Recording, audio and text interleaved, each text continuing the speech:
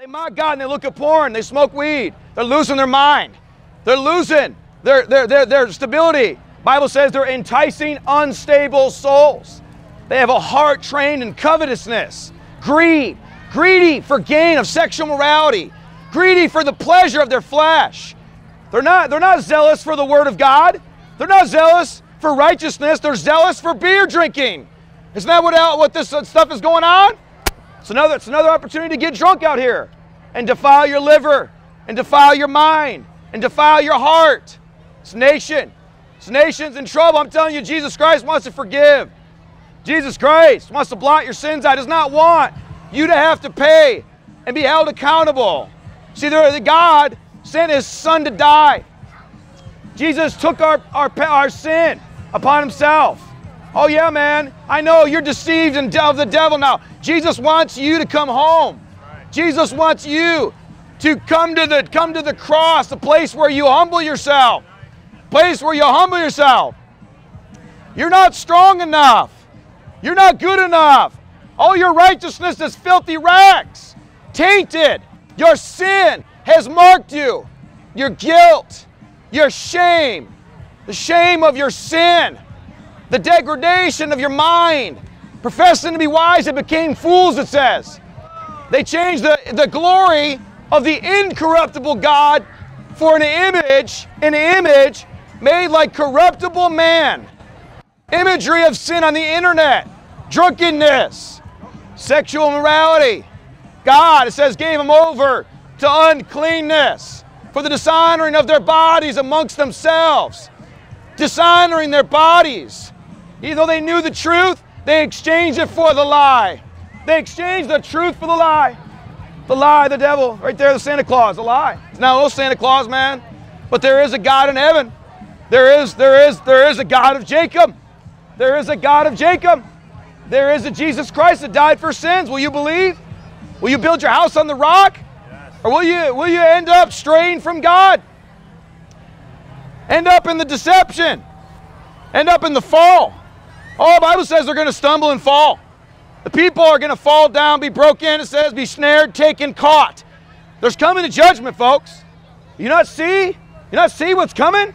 You not see what's going to happen to the people? I used to, but now I fear God. now, I, now I, I, love my neighbor. I don't want to. I don't want to defile my mind. You young people are in danger, man. Don't be like. Don't be like your parents that are doing this. Don't be like your dad. Don't be like your, your uncle. Don't be like your cousin. Your older cousin that looks at porn, smokes weed, tries to give you drugs. Be like God. Be like Jesus. Don't be like anybody. Okay, you still have influences in your life. By, you know, that are influencing you to do the wrong things. Even these pastors at these churches that, that, that are covetous, they, they exploit people by, by deceptive words, it says. But their judgment has not been idle. Their destruction is not slumber. I'm talking about these pastors that don't care about you. They want you to fill a pew. They want you to come to their church. Jesus wants you to come to godly sorrow. No, I'm preaching the Bible. 2 Corinthians 7, verse 10. Godly sorrow. I, I, am, I am with Christ who judges. Really? Yes. Because he's coming to judge. He's coming to judge. You should fear God. You don't fear God. Why? I don't know. Oh, it's not good to not fear God. It's not good to not tremble before the, your Maker the one who creates the heavens and the seas. What if you get judged? What if you get judged and die without Christ? What if you get judged and die in your sin? What's going to happen to your soul? What's going to happen to your destiny when you end up in hell? You end up in the lake of fire. Fear God. Fear God lest you be destroyed. God does not want to destroy you. God does not want to judge you for your sin. Wants to give you mercy mercy through the cross. Maybe tonight's your last chance to hear the gospel, to obey the gospel. What if that's the case? What if you die and you end up in hell and you remember, you say, man, that preacher, he warned me. He warned me to turn from my sin. And I wouldn't do it. I wanted to stay drunk. I wanted, I wanted to keep drinking. How foolish. How foolish to lift up beer over God to lift up your sin over God. It, it's, you know, the Bible says that for this light affliction, because I tell you right now, Following God is not an easy thing. Living for Jesus Christ, this, is, this has been the hardest year of my life. But you know what I remember? For this light affliction, which is but for a moment, worketh in us, worketh in us an eternal weight of glory. And, he, and he, you, you, you, trade, you trade light, temporary affliction for eternal glory. You know what you're doing, sir? You're, you're trading temporary light pleasure for eternal damnation in hell. That's what you're doing. It's foolish. It's foolish. It is the epitome of foolishness. There's not a single thing that you could do is more foolish than not live for God, the one that created. Look around. He created you. He gives you he gives you breath in your lungs. He causes your heart to beat. The Bible says that if he should if he should set his heart upon it, he could call his spirit and his breath back and you just turn to dust. What's God's mercy to you today that you're still here? Another chance to hear the gospel. Who's going to stand with Jesus tonight? Like, like, like, uh, like Moses said, who is on the Lord's side? Who's on the Lord's side tonight? Is there anybody? Is anybody? Is God going to find faith in your heart? God going to find faith when the Son of Man returns? Is he going to find faith in you? We know hell is enlarging itself. We know there's a lot of people not going to have faith, but will God find faith in you? Faith is the substance of things hoped for and the evidence of things not seen. You can point to faith. You can see faith. You know, faith, faith is faith is when everybody's telling you to do something, but you said, "No, I'm going to stand on God's. I'm going to do what God says." That's faith. This is the things that men, men and women. It says they, it says they, they, uh, they were tortured, not accepting deliverance that they might obtain a better resurrection. But look around now. Look around now. You're willing to spend $40 on a sweatshirt if you're a little cold, right? These men and women, they, they rejected deliverance from torture so they could have a better resurrection. That was their faith. What was your faith? Where's your faith tonight? It used to be that I was confident that everybody in this country had heard the gospel. But I don't even know. You guys heard the gospel before? You heard about Jesus Christ? You, are you guys saved? You're born again? You, are, you, are you following Jesus tonight? Living your life for Jesus Christ? Redeemed? You have a testimony, means you were one way and God saved you and now you're another way. He took out your heart of stone, right? That's what the Bible says. That heart of stone was unable to hear and heed the things of God. And He put in a heart of flesh that can hear and heed and understand the things of God. There's no understanding of God out here. I give you I give Bible verses and people reject it. Guys, judgment day is coming. Man's life is but a vapor. Man's life is but a vapor. It's appointed unto man once to die, and after this comes the judgment. Where will you be when you die? How do you know? The Bible says that you must you must repent and believe the gospel. You got to repent. You know, it's it's real it's it's crazy to me how how people come out here to celebrate a lie, to celebrate Santa Claus. And we come out here to tell you the truth. And parents, they hide their children like we're the bad guy, like we're the one lying. We're the one telling you the truth. Jesus is the truth. He's the way, the truth, and the life. The parents, they, they, they they stop their children's ears from hearing the gospel. How wicked is that? They don't want their children to hear about Jesus Christ. Jesus is the only way. Jesus said, Enter in as a strait gate, for wide is the gate, and broad is the way that leads to destruction, and many there be which go in thereat. Because strait is the gate, and narrow is the way that leads to eternal life and few there be that find it. See, Jesus Christ is that gate. You have to seek the Lord. Stop lying to your children. Tell them the truth. All liars will have their part in the lake which burneth with fire and brimstone. Satan has come to steal, kill, and destroy, but Jesus has come to give life and life more abundantly. Are you alive? Are you dead in your sins? Jesus said you must be born again. The Bible says that no drunkards will inherit the kingdom of heaven. It says, Know ye not that the unrighteous shall not inherit the kingdom of heaven?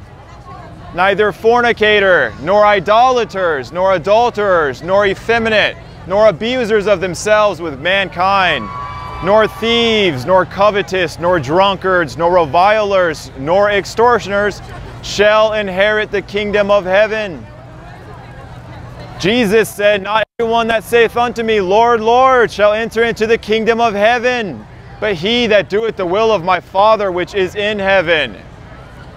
Many will say to me in that day, Lord, Lord, have we not prophesied in thy name? And in thy name cast out devils? And in thy name done many wonderful works? And I will profess unto them, Depart from me. I never knew you, ye that work iniquity. Jesus said, Whosoever hears these sayings of mine and does them shall be likened unto a wise man who built his house upon a stone.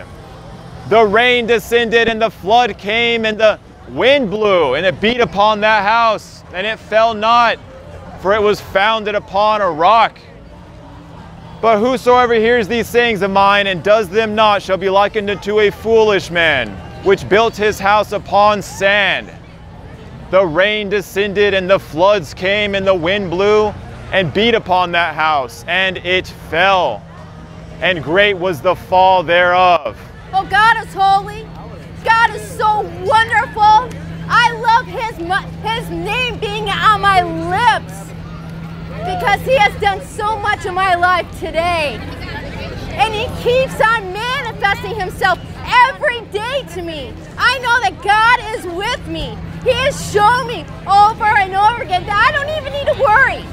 I don't need to worry about a situation if I'm going to be late, how this is going to work out. Because God has shown me that He's with me and He wants to be with you.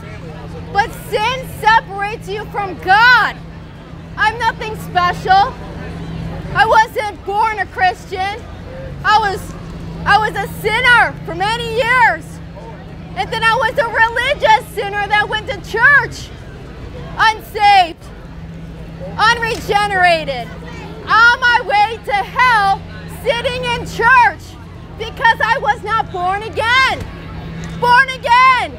Jesus Christ says, unless you are born again, you can't see the kingdom of God.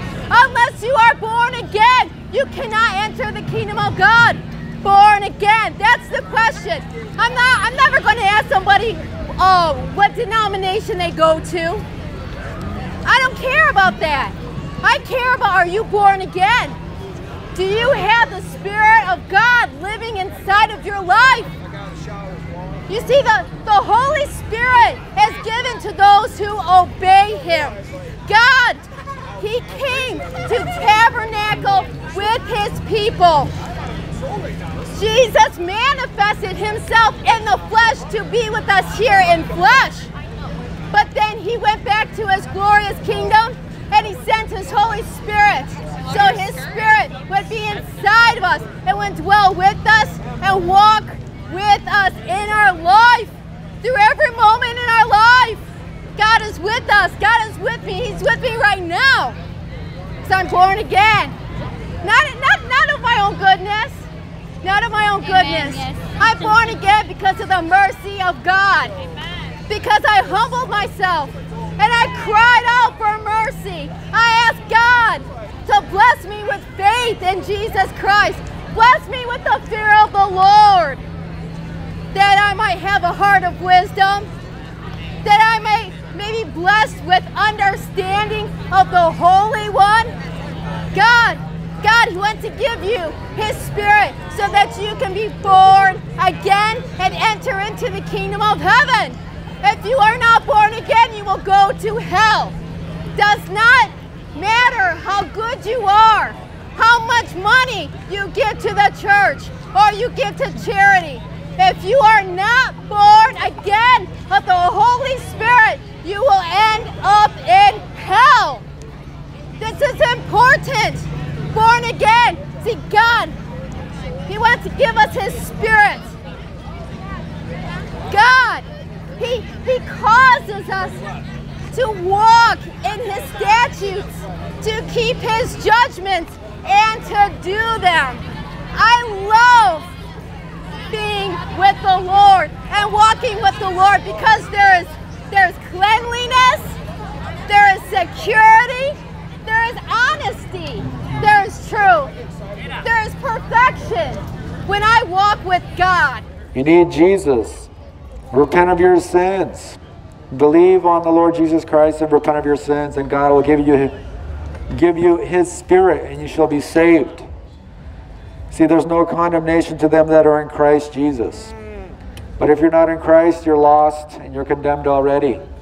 And Jesus Christ came to save you, to deliver you, to set you free. He died. That's why he died for your sins. And he rose again the third day, and there's power in the blood of Christ to cleanse of all unrighteousness. And this is the way to eternal life. See, eternal life is in Christ. You need to be in Christ. Whoever has Jesus Christ has eternal life. Yes. You don't have Jesus, you don't have eternal life in you. You don't got life in you. You're, you're dead. And Christ came to give you life and life more abundantly. Joy is in Jesus, is in Christ. You, you can receive joy and righteousness and peace. It's a gift, something you don't deserve, but God gives freely to them that believe. Because God is good in that He demonstrated His love for you, that He died for you. This is the greatest love that anyone has shown to lay down, he laid down his life for you. Jesus Christ laid down his life for you so you could be free, so you could have eternal life, and you could have life more abundantly in this life. Not live in death, but live in victory with a clean conscience, you know, a pure heart and clean hands. See, only the blood of Christ could cleanse you. Because the, the, you know, the wrath of God you know, fell upon Jesus so you could be free. You know, there's no condemnation unto them that are in Christ.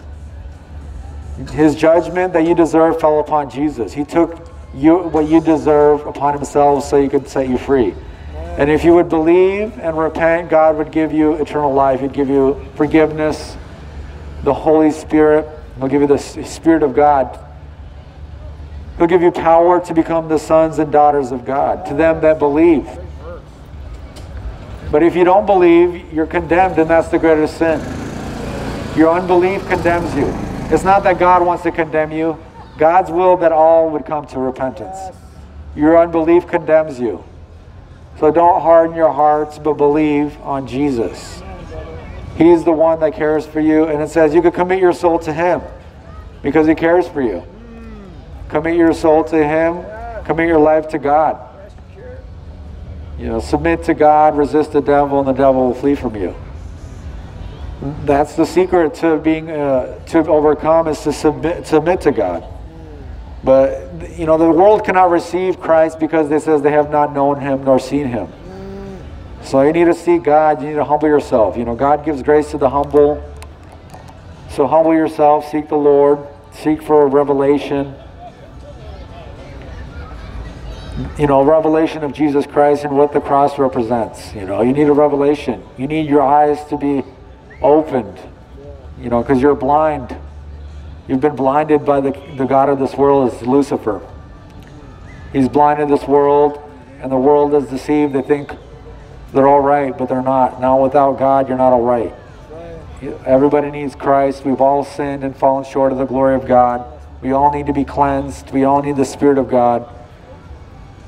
So seek the Lord before it's too late.